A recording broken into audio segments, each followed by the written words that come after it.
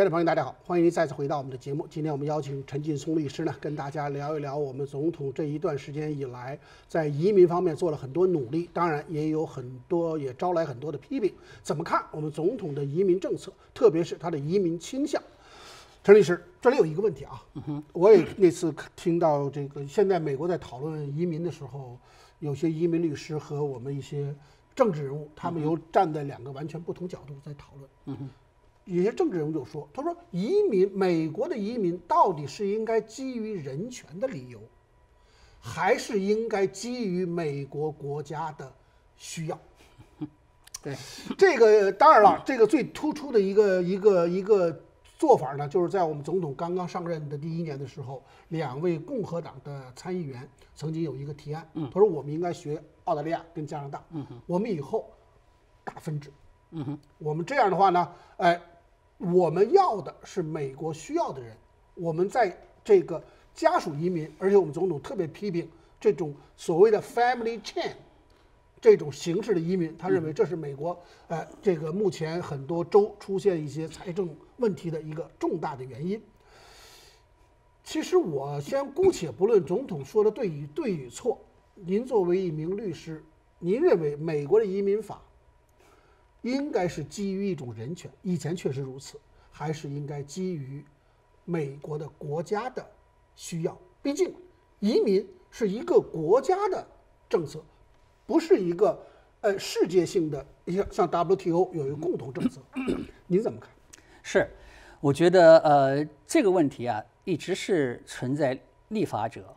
历届总统这个脑袋里面，可能也经常会考虑的问题。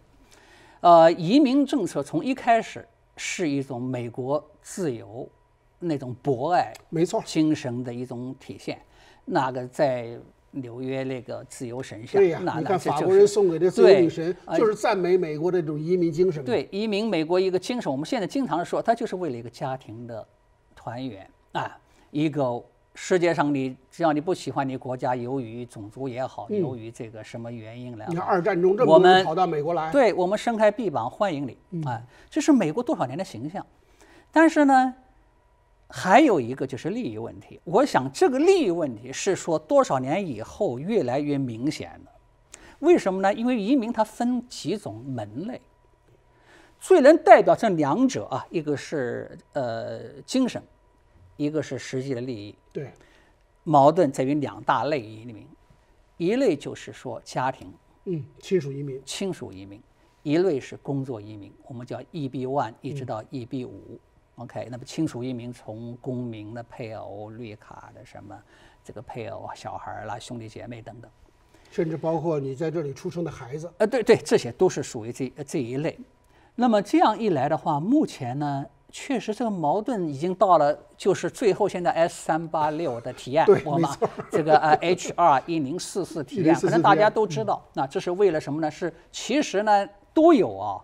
就是说要把这个家庭的体验从本来本来的百分之七的这个配额，每个国家只能用百分之七，扩大。扩大到百分之十五，而技术移民、高科技的就直接就废除了，就按你先来先到，first come first served。那么也就是说，明显的这个体验是什么样呢？精神还有，但是呢，精神呢要受到一定限制，而为美国利益为主要的这个这个这高科技人才就没有配额了。说到这一点啊，对，就我们把这个 S 三八六和这个这个这个这个这个一零四四留到下一期讨论。嗯，回到这一点，我记得奥巴马总统在他竞选连任的时候，他对移民政策有一个有一个阐述。他当时提到移民政策，因为他的移民政策也受到很大的这个这个这个攻击，就认为说你呢太过于松散，因为他那时候主张给所有非法移民一个 path pathway，说将来以后让解决他们问题。其实我我到今天很多人都不认为说不能光从政治上来解读奥巴马总统这样一个说法，因为这一千一一千多万人这个非法移民的问题，美国是迟早要解解决的，你怎么把他们轰回去？他们还在这里生，在这里养，你根本已经不可能轰回去了。解决他们的问题，这是个必然的。最后，共和党以一个理由说：“我得先把边境封上了，我才来解决内部的问题。”当然，这是一个借口，这已经过去了。但是问题在这儿，那个时候，奥巴马总统，我记得他很清楚，他在提出自己的移民政策的时候，他已经明确表达，他说，美国的移民政策是基于两个原则，一个就是说美国的国家发展，一个是美国对社会、对世界的责任。对，可是我们总统呢，好像难民也不要了。对，现在就说呃，我觉得这奥巴马这个呃呃，我是绝对支持这一个。我觉得美国的移民绝对应该这两者都得兼顾。那么，首先是美国这种精神，你这多少年来美国历代的这个先哲嘛啊，这个呃呃，大家都是以美国作为一个世界一个最人们向往的地方，这个一个呃光明自由，能够所有人得到这个宗教啦这个信仰得到保护的，而且这一个政策，我们千万不能触目寸光看待它，不要以为说一下来这么多人呐，这么来吃我们喝我们的，其实你想想回顾历史上多少移民啊。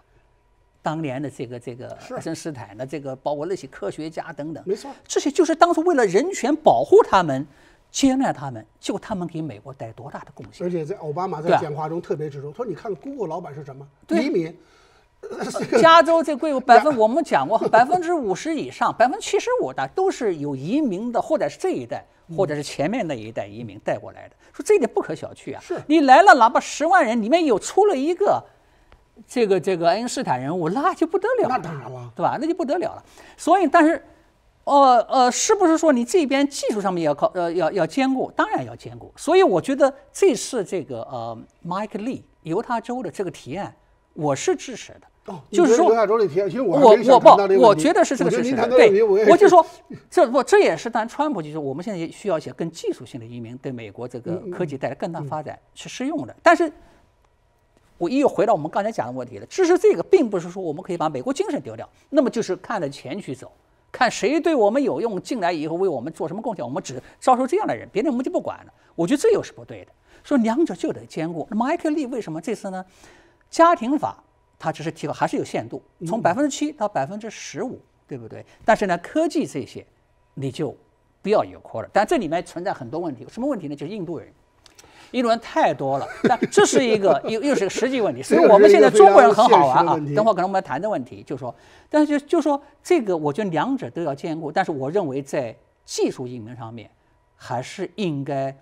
要做一些修正，不能是把它完全等同于。就是这种家属移民呐、难民移民的这种精神，我觉得应该有分别不同的政策去对待。我觉得这些不违反美国的这个移民政移民精神。是这样啊，这个陈律师，其实为什么这个这个问题大家有一些争议呢？原因是在于说，特别是在这个美国的东西海岸，这个相对移民人数比较集中的这个纽约州，包括加州、呃 Texas 州，其实这里面有一个问题，因为大家突然发现，呃，非法移民。已经，或者说这个亲属移民吧，我们姑且先不谈非法移民。亲属移民里边，呃，有一个统计，他们认为亲属移民在到了美国以后，他们对美国的福利制度造成了一定的冲击。他认为这个，我有一个朋友在 county 的这个 welfare department 工作，他说的更夸张。他说我接待过那人，从飞机上下来，直接开车就来了。就来申请了，这就说这个问题，这必须要，是不是也应该正视？呃，必须必须，就是说啊，这个拿美国碰着这个目的来美国的，一说美国呢到底能拿黄金的地方，我就来。据说有在国中国国内有人告诉说，你要想拿美国福利吗？对，呃，你五十万就可以买个移民。对对，所以说你这是从边境进来的。我说是我就是因为在国内我我活不下，我到这儿我就我就是一个好日子过，那更好的日子。我说这是不对的，对，这是不。你如果由于迫害的问题，那可以；如果你只是问题经济问题，我到美国来的话，这个从移民精神本来就不应该这样，但现在被滥用了。说这一点一定要整顿，但这个整顿呢，是不是在一开始政策上面就完全关了门了，而是说以有别的这种相应的法你你可以在在审查的时候。对不对？你可以做一些政策上的调整，福利上的调整，而且现在做了一些东西。你要是说有当当年有担保人过来了，那担保人得负责啊。我我我我担保人得得有十年的责任。如果说这个人将来跟美国申请福利了，我找你担保人去，原本应该是这样，应该这样，但是好像最后没人管，没人管，说这个现象是混乱现象，是必须要这个治理的现象。所以美国的移民法里面牵扯的社会问题和牵扯到一些太复杂，当然再加上又赶上选举以后，这两党又把它赋予很高的政治的意涵，就让移民本身就从一个法律问题就扩大成为社会问题，甚至政治问题，就让大家我们的律师们有时候，我希望能依照法律来解决问题的时候，似乎好像也不能够。真的能够解决很多的问题，是这样。所以移民的问题，当然这里面最核心的问题就是刚才陈律师讲的，其实美国移民法本身，本身是为了美国的国家的发展和美国的国家的需要而设立的移民法。因为你看，全世界一百八十几个国家，两百多个国家，真正张开双臂欢迎移民的国家并不多，而且特别是西方国家中又更少。而美国为什么持续这么做，并没有关门？就是因为这是美国国家的立国精神和美国国家的一个本身的一个宗旨。时间关系，我们休息一下。